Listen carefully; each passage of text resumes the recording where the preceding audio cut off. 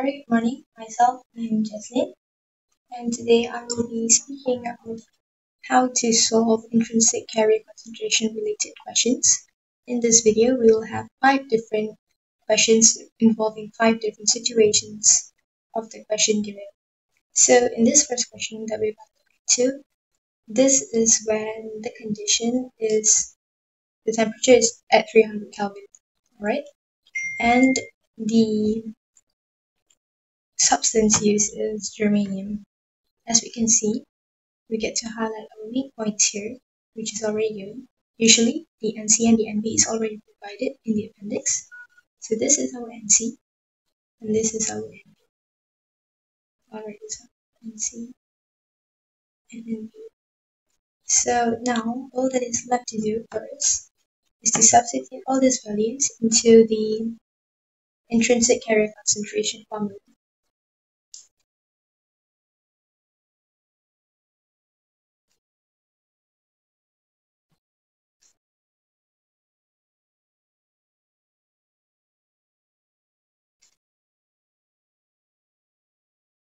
Alright, so the formula is NC times NV square root exponent to negative EV over 2 kt. As we can see, this all this values is already provided in the appendix. But in this case, it's not provided in the question. So EG for germanium is 0.66 and KT over here is 0.0259.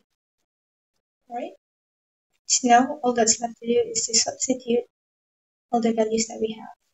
So our NC is 1.04 times 10 to the power of 19 times with 6.0 times 10 to the power of 18 square root this exponent negative 0.66 over 2 times 0.0259. Alright, and the answer that I've gotten from calculating is 2.313 times 10 to the power of 13, and the unit, most importantly, cm power of negative 3. So in this case, this is all that we have to do. We only have to find the intrinsic carrier concentration because our temperature is at 300 K. If our temperature varies to another different temperature, then we need to find the intrinsic carrier for the sitting temperature, then change it to 300. So that is all from me. Thank you. Hai, Assalamualaikum. Saya Wan Nuralia Arisha binti Wan Zulkifli. Saya akan membentangkan cara untuk mencari nilai intrinsic carrier concentration pada T300K untuk metal silikon. Seperti yang korang lihat dalam skrin saya ni, saya dah siapkan satu example untuk kita mencari nilai intrinsic carrier concentration. So, saya akan highlightkan T300K sebab dia nak kita cari nilai dia. Jadi, yang seperti yang korang kena ingat, NC dan NV pada T300K untuk materi silikon dia dah bagi dalam appendix tau. Jadi macam tak payah susah-susah cari. So ni appendix dia. So saya highlight kan NC dia adalah 28 dan NB dia adalah 1.04. Jadi kita macam tak payahlah nak cari NC dan NV dia sebab dia betul-betul dah bagi dalam appendix. Jadi kita just tulis nilai untuk NI sahaja. So NI 300K sama dengan square root NC darah NV eksponen negatif EG per 2 KT.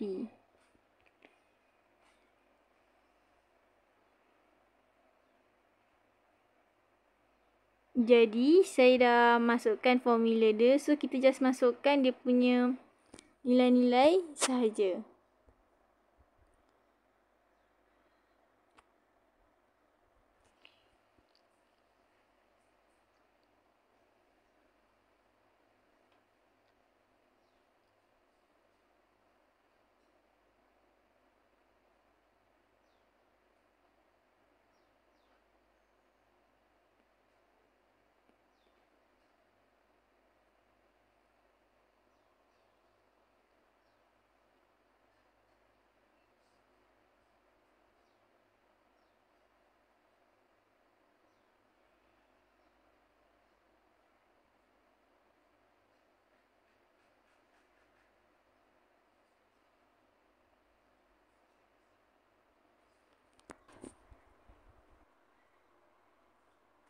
Okey.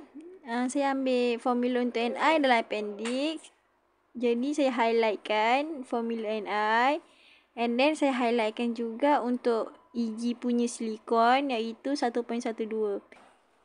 Jadi jawapan dia adalah 6.95 darab 10 kuasa 9 cm negatif 3. Jadi inilah jawapan dia. Sekian, terima kasih. Hi and a very good afternoon, sir. My name is Ganeshwaran Anandalaki Xavier. My metric number is 222010827. The topic that sir given is intrinsic carrier concentration. I am from group 6. Okay, today I am going to present about how to calculate intrinsic carrier concentration in silicon not equal to 300 K. Okay, let's see our question.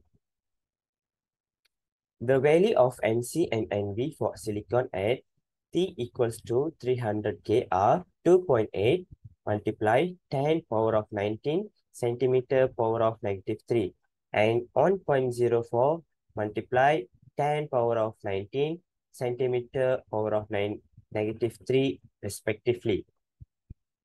Both NC and NV are very, very as T power of 3 over 2. Calculate the intrinsic carrier concentration Ni in silicon at T equals to 365 K.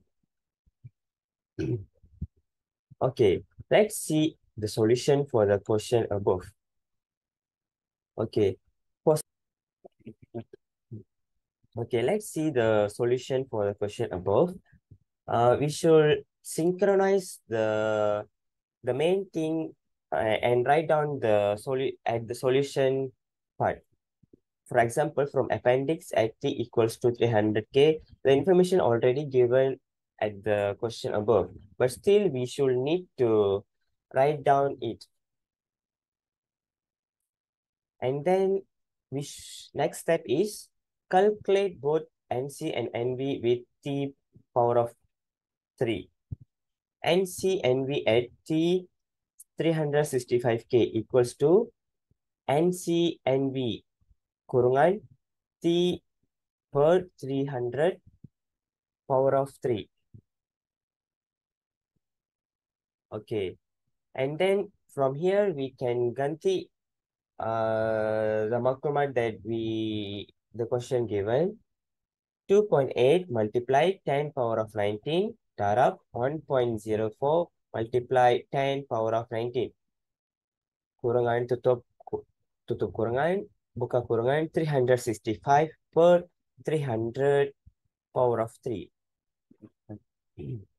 The answer uh, that we, we will get is 5.245 multiply 10 power power power of 3 38 centimeter power of negative 3 from here we can get on mark.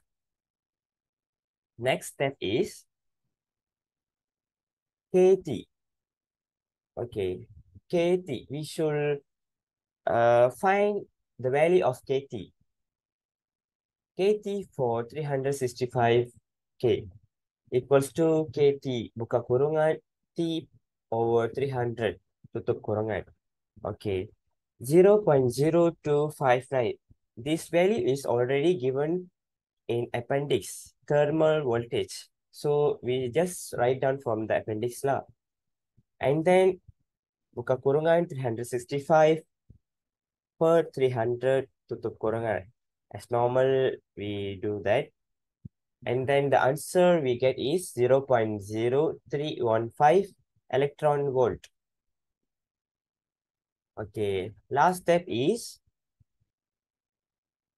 Ni 365K equals to kuasa 2 NC and V expect buka kurungan negative EG per 2 kT tutup kurangan. So from here we can just ganti the value that we get above 5.5.245 5 multiplied 10 power of 38 expert uh, buka kurungan negative on point on 2 per 2 darab 0.03 on 5 tutup kurungan. And then the last answer we will get is 4.3559 darab 10 multi 10 power of 11 centimeter power of negative 3. So from here, we can get on mark for formula, intrinsic carrier concentration, and on mark for the Jalan Kerja, and on mark for last final answer. Okay, that's all from me. Thank you. Uh, Assalamualaikum, nama saya Muhammad Aidil Akil bin Ma'arifin. Uh, so sekarang ni saya dapat soalan yang ketiga iaitu NI for T tidak sama dengan 300K untuk germanium. Okey, kalau kita tengok dekat soalan ni, uh, the value of NC and NV for germanium at T equals to 300K uh, 1.04 darab 10 kuasa 19 uh, cm negatif 3 and 6.0 darab 10 kuasa 18 cm negatif 3 respectively. Both NC and NV are vary as uh, T kuasa 3 per 2 calculate the intrinsic uh, carrier concentration and I at T equals to 225K. So, first kali kita kena tengok kita punya material adalah apa. Kalau ikutkan soalan ni, kita punya material adalah germanium. Uh, sekejap saya highlight kan. Kita punya material adalah germanium. Uh, so, uh, NC untuk germanium adalah 1.04 darab 10 kuasa 19 dan NV untuk germanium adalah 6.0 darab 10 kuasa 18 Okey, untuk kita cari nilai NI dekat T sama dengan 225K ialah dengan uh, first step sekali kita kena cari nilai NC NV dekat T sama dengan 225K Okey, untuk cari nilai tu kita kena pakai formula NC darab NV darab T kuasa 3 uh, Okey, dekat uh, sebelah ni Kita akan masukkan nilai untuk formula tadi.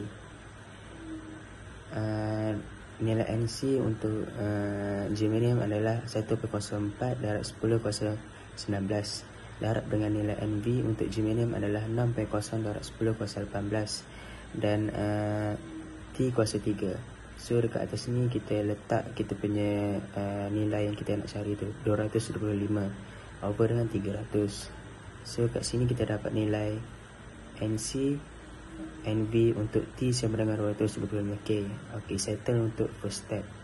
Uh, Step yang kedua adalah kita kena cari nilai KT untuk 225K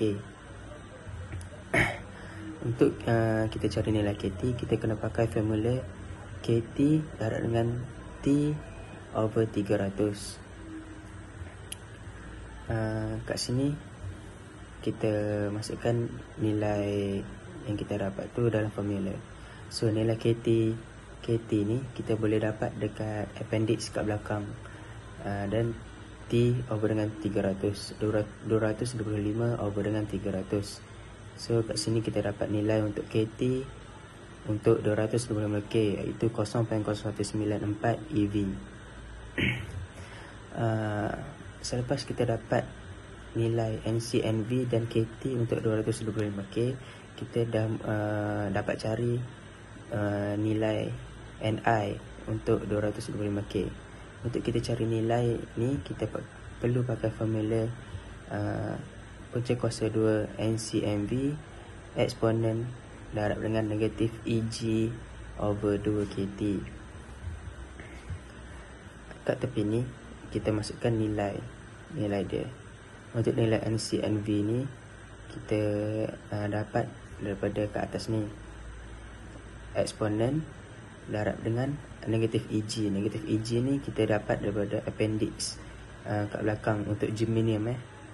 Sebab uh, kat soalan ni dia minta untuk germanium over dengan 2 uh, lepas tu darab dengan nilai KT yang kita dapat untuk 225K so lepas kita darab apa semua tu kita dapat nilai NI untuk 225K iaitu 2.1023 darab dengan 10 kuasa 11 cm negatif 3. Uh, selesai untuk bahagian saya. Terima kasih. Assalamualaikum. My name is Nazir Iqbal Bisharin. My metric number is 222010871. Here I will present is calculate the intrinsic carrier concentration for gallium arsenide at given temperature below. It is 282 K. Okay. First sekali, kita kena mencari nilai NC dengan MV dalam keadaan T sama dengan 282 K. Okay, kita akan menggunakan formula NC NV darab T bahagi 300 kuasa 3. Okay.